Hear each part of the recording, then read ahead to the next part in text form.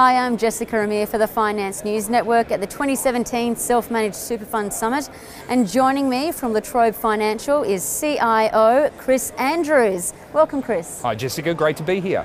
Thanks for coming. So, can you tell us, Chris, what are your key takeaways for self managed super fund trustees? Well, in the low interest rate world we're in today, investors, particularly self managed super fund investors, those at or near retirement, they're facing some real challenges. With interest rates so low, frankly, their portfolio performance is really getting stressed.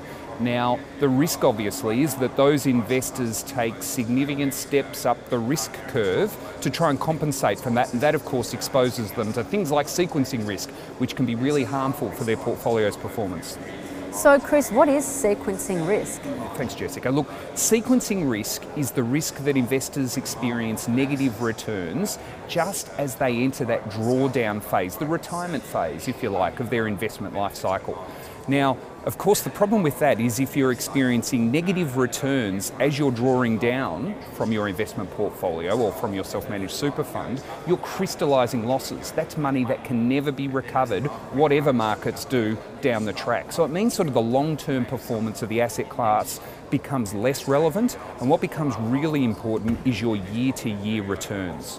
Good point. So, what about we've heard the term bandied around today and previously peer to peer investments. So, what are peer to peer investments? Peer to peer investment, it's the flavour of the month. Everyone's talking about it, which is a little bit surprising to us. I've got to say, we've been doing it for 25 years. Being, that being as it is, peer to peer investment is an investment model where investors get to choose individual loans and invest in them. So, classically, of course, an investor investing in loans, um, mortgages, or unsecured loans would invest in a portfolio of those loans put together by a manager.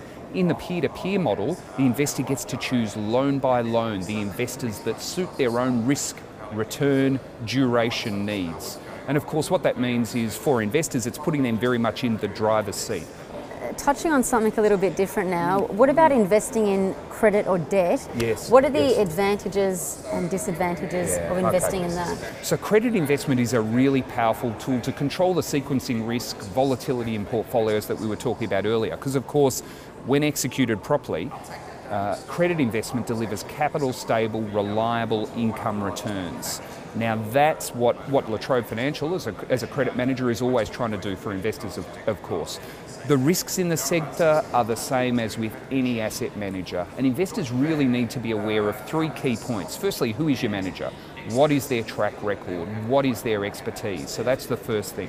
The second thing they need to be aware of what is it that they're investing in? Do they actually understand the assets? Do they understand the manager's approach to the assets? Do they understand the manager's resources to bring to bear to manage and control those assets? And then finally, investment structures. We are forever saying for investors be aware, be alert. If investment structures seem complex, if they're opaque, if you don't understand what's actually happening, the decisions that the manager is making, then you shouldn't invest. It's, it brings us back to that famous Warren Buffett saying, which we, we repeat endlessly investment is not like Olympic diving. You don't get bonus points for degree of difficulty.